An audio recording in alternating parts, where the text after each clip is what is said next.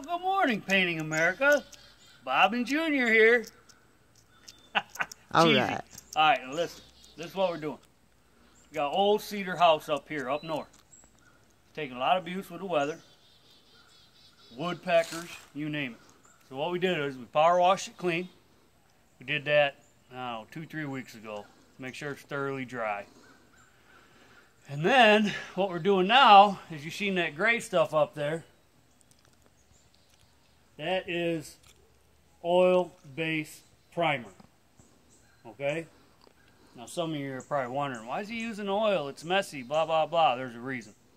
I'd rather use latex, but latex is not going to have the proper uh, blocking properties that you need on cedar because you get a lot of tannin oils that bleed and when they bleed through it makes your paint job look ugly so you seal it up with oil first Sherwin-Williams will tell you all about that um, and i just had it tinted like a dirty gray my top coats are dark so that'll help it cover um, so basically up on my ladder to make this easier for the average homeowner up on that ladder up on the ladder are two buckets hanging off little hooks. Them hooks cost you about a dollar. Make life real simple. I got a hot dog roller in one, which is slang for a four inch roller. And then in the other one is my brush.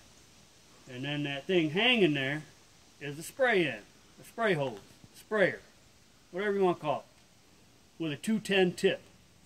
So I can keep my, you know, I can spray it out and I can back roll it, I can back brush it, push it into the wood.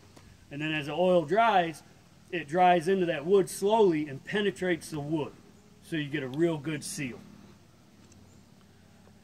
And the stuff you see on the windows here, my man Junior, who's filming, he prepped them up. Now just real quick for another helpful tip to a homeowner, he's got one of these things here. Costs you about 30, 40 bucks. Gotta have one. Pull it off, cut it, stick it. Cover your windows. Saves a lot of time. You got screens to protect, glass, blah, blah, blah. And you don't want paint crap on all that. You don't want to clean it when you're all said and done. So, anyways, I got to get back to work.